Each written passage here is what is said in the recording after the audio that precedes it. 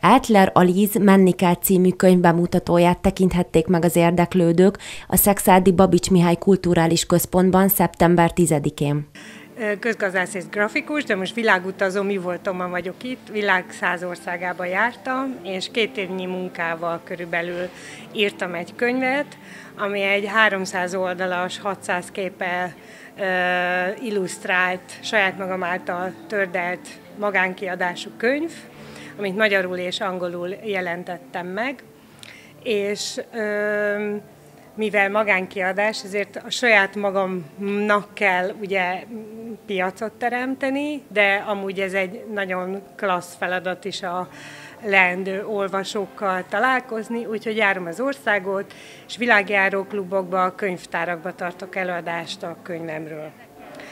Talán érdekes, hogy ez nem csak sztorizás, hanem csomó érdekes információ, szórakoztató adat van ezekbe a, a történetekbe, és nem ö, országokról írtam elsősorban, hanem 32, tehát 100 történet van benne 40 országból, ami 32 témára van felfűzve.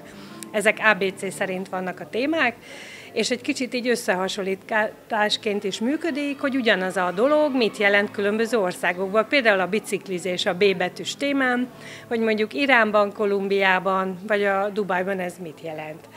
És az utolsó fejezet pedig Badacsonyosról szól, ahol én lakom, mert úgy gondolom, hogy akármennyit is utazunk, egyszer csak hazaérünk, és nekem Badacsonyos az otthonom, és a témák egy részét Badacsonyos viszonylatába is megnézem, hogy ott milyen érdekességek vannak. Mikor elkezdtem összerakni a történeteket, akkor csak így bővült, bővült, aztán egyszer csak le kellett ezzel állnom, hogy na jó, akkor ez így pont elég lesz.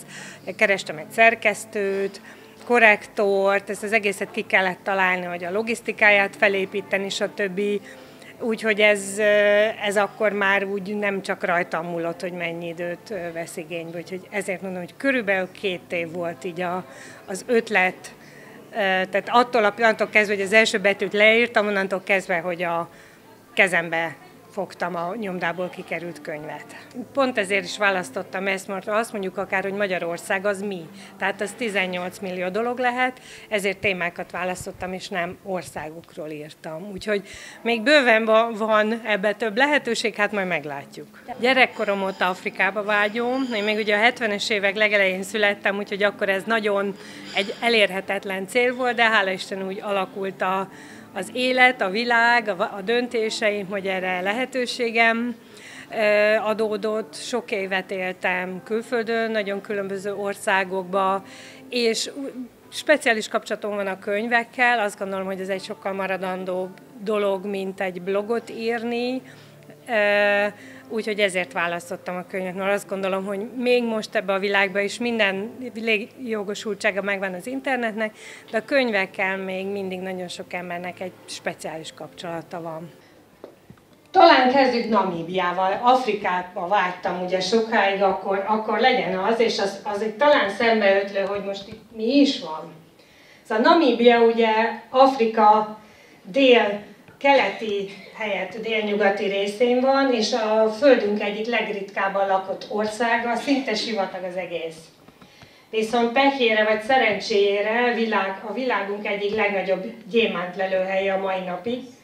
Amikor megtalálták a gyémántokat a 20. század elején, állítólag akkora darabok voltak, hogy Teliholdnál térden állva meg lehetett találni ezeket a gyémántokat.